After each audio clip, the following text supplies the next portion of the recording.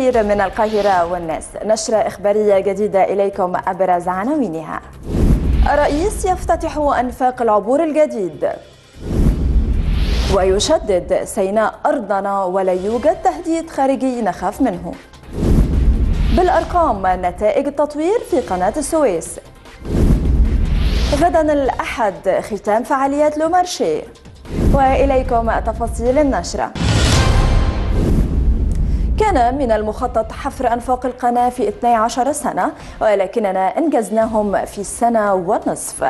هذا ما أكده الرئيس عبد الفتاح السيسي خلال الاحتفال بافتتاح عددا من المشروعات القومية الكبرى بمنطقة قناة السويس بالإسماعيلية.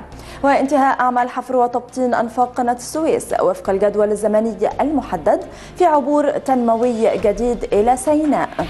مشددا على أننا سنعبر من الأنفاق الأربع إلى سيناء في 30 من يونيو المقبل وهذا تحدي كبير. وواصل الرئيس قائلا لا تتصوروا إن ما تم إنجازه في الأنفاق عمل بسيط. هناك أربع شركات مصرية نفذت الأنفاق بخبراء ومهندسين وعمال مصريين كما اشترينا معدات من الخارج. وأرجو أن نتوقف أمام هذا الكلام لأنه ليس عملا بسيطا. ووجه الرئيس الشكر للقوات المسلحة التي نفذت مشروعات أنفاق قناة السويس في الوقت المحدد. وفي رسالة واضحة قال الرئيس عبد الفتاح السيسي أن سيناء أرضنا وأن القوات المسلحة ستتعامل مع الإرهاب بعنف. ولا بد بفضل الله تعالى أن نضع حدا للإرهاب الموجود فيها. قائلا بالنص إحنا نموت كلنا ولا ان حد يقرب من أرضنا. والموضوع مش بالكلام. مشددا في رسالته للمصريين أنه لا يوجد تهديد خارجي يمكن الخوف منه. وطالما أن المصريين يدا واحدة لن يستطيع أحد التأثير عليهم. سينا أرضنا. وسينا إحنا عشان بس الناس اللي تبقى قلقانة. لا. القوات المسلحة ستقوم بكل العنف. بكل العنف.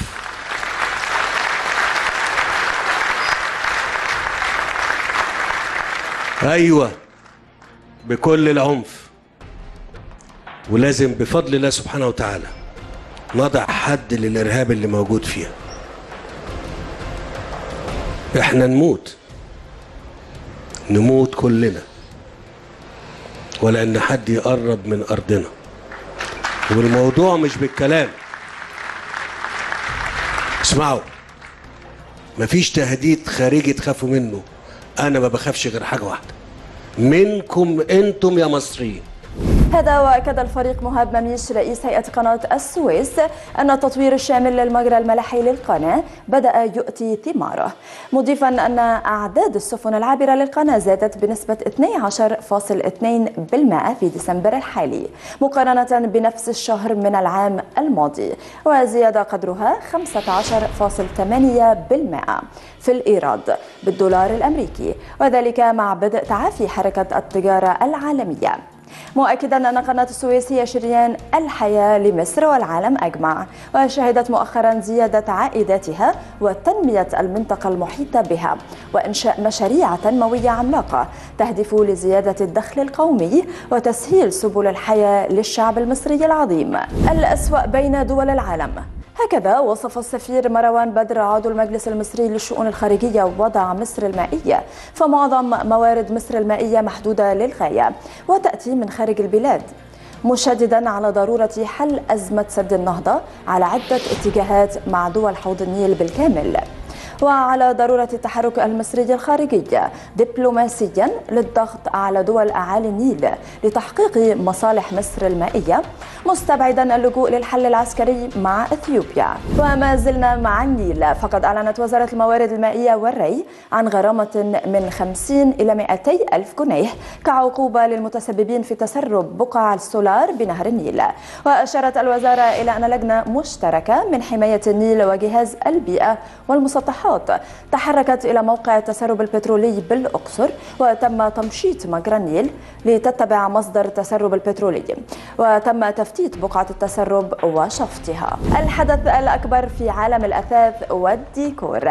حيث تتواصل فعاليات لومارشي أكبر معرض للأثاث والديكور في مصر والشرق الأوسط في دورته التاسعة والثلاثين.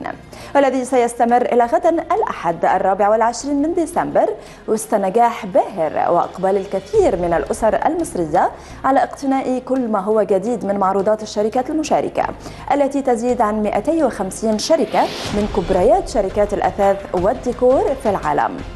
وتقام هذه الدورة على أكبر مساحة عرض في مصر وتمتد إلى خمس قاعات في مركز القاهرة الدولي للمؤتمرات بمدينة ناصر. وتتميز هذه الدورة بوجود تخفيضات كبيرة تصل إلى الخمسين بالمائة بالإضافة إلى تسهيلات كبيرة في السداد وتأتي هذه الدورة كتتويج لمكانة لو مارشي الريادية والذي بدأ فعالياته في عام 1987 ليكون المعرض الأعرق في المنطقة. نشرتنا انتهت. إلى اللقاء في نشرات أخرى بإذن الله.